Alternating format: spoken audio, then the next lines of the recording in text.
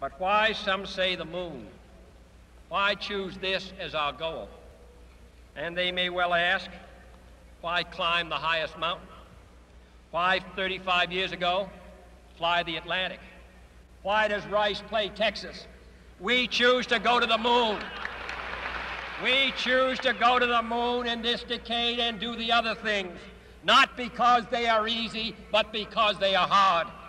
Because that goal will serve to organize and measure the best of our energies and skills.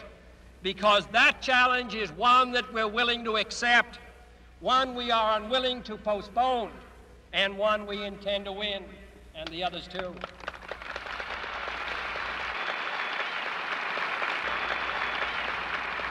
we shall send to the moon 240,000 miles away from the control station in Houston a giant rocket more than 300 feet tall, the length of this football field, made of new metal alloys, some of which have not yet been invented, capable of standing heat and stresses several times more than have ever been experienced, fitted together with a precision better than the finest watch, carrying all the equipment needed for propulsion, guidance, control, communications, food, and survival on an untried mission to an unknown celestial body and then return it safely to Earth, re entering the atmosphere at speeds of over 25,000 miles per hour, causing heat about half that on the temperature of the sun almost as hot as it is here today, and do all this, and do all this, and do it right,